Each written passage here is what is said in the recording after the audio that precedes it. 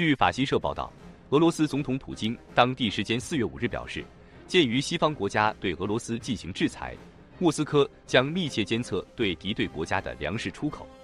报道称，普京在一次农业会议上指出，在全球粮食短缺的情况下，今年我们将不得不谨慎对待对国外的供应，并密切监测对我们明显怀有敌意的国家的出口。普京表示，俄罗斯的粮食生产完全满足国内的需求。他提到，俄罗斯在农业、工业和科学方面的潜力，敦促官员加大进口替代力度。我们需要为进口替代设定明确目标。并在不久的将来坚持不懈地追求这些目标。普京指出，对于俄罗斯人来说，他们应该能够获得高质量的可负担的食品，包括鱼类产品，这是今年的关键任务。据塔斯社报道，普京认为西方国家试图将粮食问题输出到俄罗斯。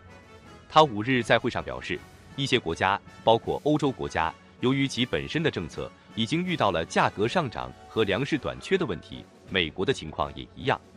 我们所谓的伙伴会试图把这些问题输出给我们，我们有一切办法来防止此类事件的发展。普京说，通过俄罗斯企业不断增长的能力，增加国内市场的食品供应，充实俄罗斯商店的货架。根据普京的说法，除了持续监测情况外，还有必要利用全部机会和工具支持农业和工业，包括关税政策、临时出口限制和对进口某类产品的优惠政策。普京强调，在全球市场不平衡。俄罗斯经济和国内公司面临前所未有的压力的情况下，对我们的公民而言，重要的是尽量减少外部的负面影响。俄乌冲突爆发以来，以小麦、玉米为代表的国际粮价持续走高。联合国粮农组织三月警告，目前俄乌冲突的程度和持续时间仍不确定。鉴于这两个主要粮食出口国的农业活动可能被迫中断，在国际粮食和农资价格已经处于高位且波动不定的情况下。或将严重加剧全球粮食不安全状况。联合国粮农组织指出，目前约有五十个国家依赖从俄罗斯和乌克兰进口，以保障本国百分之三十或以上的小麦供应，多数为北非、亚洲和近东区域的最不发达国家或低收入缺粮国。